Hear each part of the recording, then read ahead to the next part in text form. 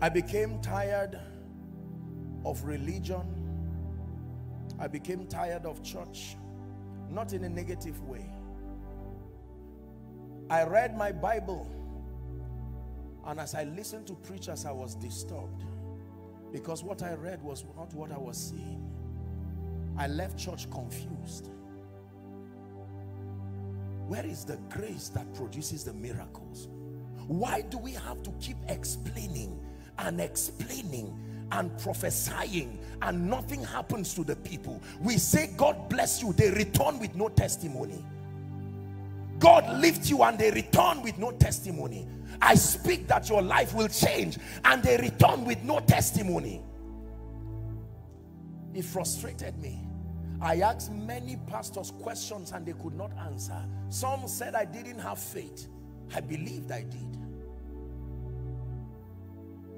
You see, one of the ways the anointing of your destiny calls you is through dissatisfaction.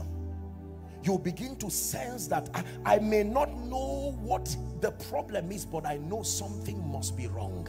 This cannot be it. And that hunger drove me to search scripture. I will never forget the day I placed my hand on the book we call God's Generals. When I opened it, it was as if I was reading about my brothers. Literally. When I read, I said, this is it. The Bible says, seeing then that we are surrounded by so great a cloud of witnesses, Don Moen got it well. Though we are few, we're surrounded by many who have crossed that river before. We may be few, but there is an army of hungry and angry men saying this cannot be the way it should be. The way we beg people to come to church is a sign that something is wrong. Because the Bible says all nations will flow. The way we coerce and plead and say just be patient. The house of God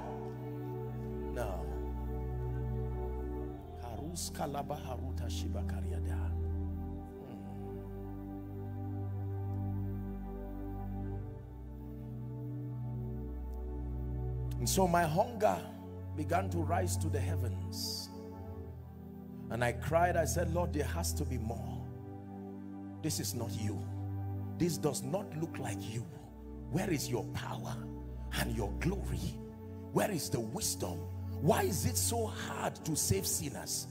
You waste your time and talk for hours and at the end of your conversation, they say, I will think about it. My God, what were you saying then? He said, for I am not ashamed of the gospel. It is the power, not the suggestion of God. There is an ability upon it that compels the listener.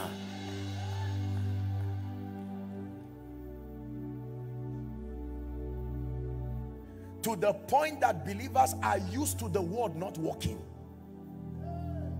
It shows by our testimonies. We didn't expect it to work. We are surprised it worked.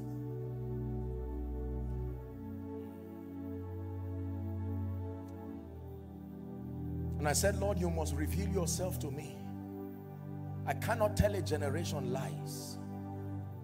There has to be a dimension of God that we must reveal. We are the preservers. This baton has been passed to us and we cannot fail. Listen to me. The hunger of days became weeks. Weeks became months. Can I tell you the truth? God loves you, but his presence, encounters are not cheap. It will take hunger that is greater than your desire for anything to really find God. We, we have a, a generation that cheapens encounters as if they just happen. No, nothing of value comes cheap. He allows your hunger to stretch you. One night, here is my sermon tonight. My hunger had reached the heavens. I knew if he did not come, I may die. And there he walked into my room, the King of Kings himself. My hunger had gotten to the heavens. I was not interested in church, fame. I didn't want ministry.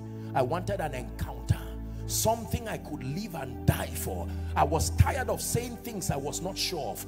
Preaching something you go back and say, I hope I'm right. No, that which we have seen, that which we have heard, that which our hands have handled of the word of life. It says, but I know whom I have believed. I'm not trying to guess. I am persuaded. When the Lord Jesus appeared to me, there's something about the strings and the spirit of prophecy. It says, I will reveal my sayings upon the harp. Now, my hunger had gotten to the heavens. And when Jesus came, now please look up. The strange thing, Pastor, when I saw Jesus, I knew respectfully that many people represented representing him did not know him. I was in shock. This was the man I'd been preaching about. Jesus, the son of the living God. Any part of him was what you're looking for forever. You know, you cannot look at a human being forever. If I look at your legs after a few minutes, I'm tired, I find something else to look at. Not Jesus. Brilliance I told you yesterday, he never spoke a word, but he said many things. That was when I learned that the language of God is not English, it's not Hebrew, it's not Latin. The language of God is light. He does not have to talk to speak. His light is a voice. It speaks to you. Did the Bible not say the entrance of thy word giveth light? And he stretched forth his hands towards me.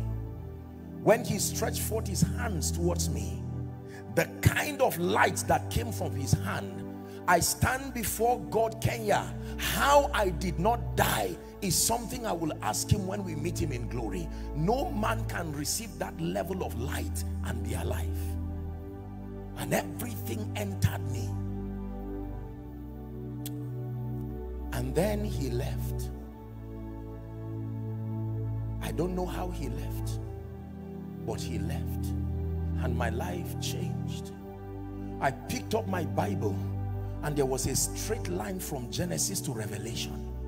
I saw things I never studied. I understood what Paul said how by revelation the mystery was made known unto me please listen very carefully there is a reason why I say what I say in one other encounter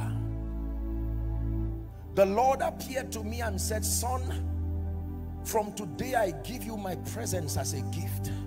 And then I saw this angel standing before me. And he said, this angel will walk with you.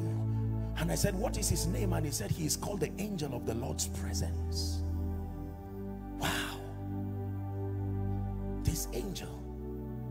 That's what is responsible for the miracles and the signs, the wonders, the impartations and then in one other encounter, the Lord gave me an instruction. He said, every city and every territory and every nation I send you to, there must be people in that meeting that the light that came from me to you must, you cannot leave that nation and that territory until some of those people, please help them.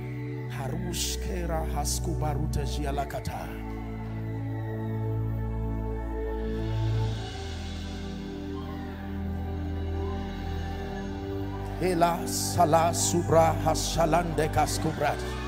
Kele baruti se hasekete baratu shiakata.